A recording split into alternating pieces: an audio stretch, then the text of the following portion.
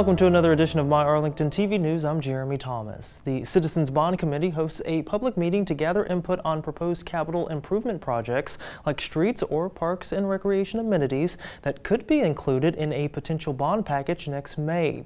The first public meeting is scheduled for 6:30 p.m. Monday, September 12th at the George W. Hawkes Downtown Library. To learn more about the Citizens Bond Committee, watch the latest episode of Ask Arlington on our YouTube channel. Event organizers announce Hall of Fame Cowboys wide receiver Drew Pearson as this year's guest speaker for the Aging Well Expo.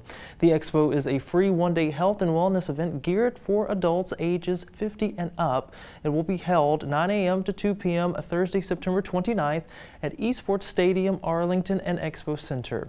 If you pre-register for the expo by September 15th, you will receive a complimentary box lunch.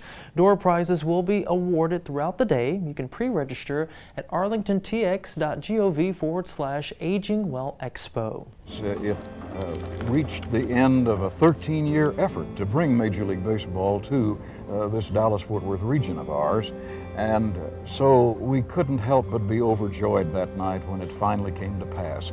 The fourth installment of the docu-series Journey to Baseball Town is out now, exploring the team's final days in the nation's capital, leading up to opening day in Arlington. You can catch that episode also on our YouTube channel. And before we go, a traffic alert, northbound and southbound State Highway 360 will be closed nightly Friday through Monday between Avenue J and Six Flags Drive. You can follow signs in the area for detours. Have a great weekend, everyone.